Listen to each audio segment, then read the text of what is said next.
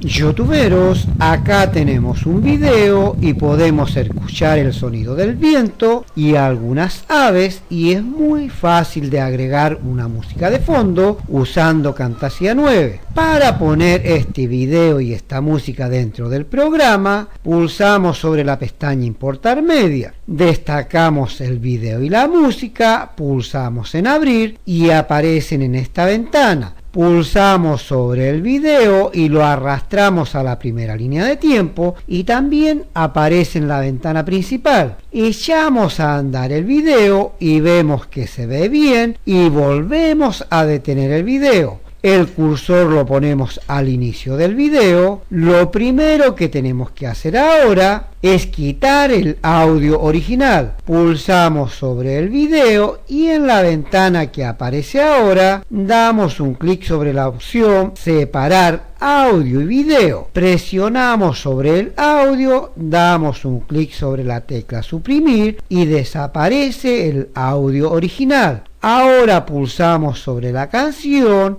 y la ponemos en la segunda línea de tiempo. Y como el audio es más largo que el video, el cursor lo ponemos al final del video. Pulsamos sobre el audio, damos un clic sobre la pestaña dividir y el audio se ha partido en dos. Presionamos sobre el audio que sobra, damos un clic sobre la tecla suprimir y desaparece el audio sobrante. Ahora echamos a andar el video y podemos ver y escuchar la canción que hemos agregado y volvemos a detener el video.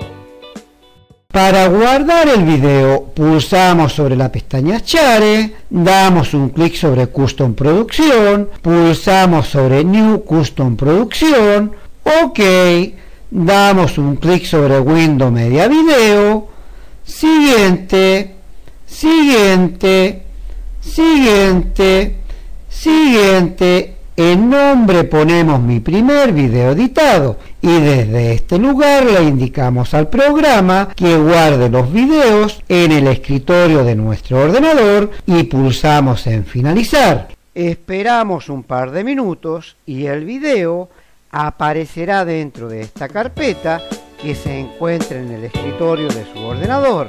Así de fácil y sencillo. Pulsando sobre la pestaña Mostrar más que está debajo de este tutorial, aparece este link para aprender cómo reducir los videos sin que pierdan calidad. Y este link para aprender cómo se hace para poner un bocadillo de leyenda en un video con Camtasia 9 y este link para aprender cómo se hace para poner una firma sobre un video y este link para aprender cómo poner un video encima de otro video con Camtasia 9.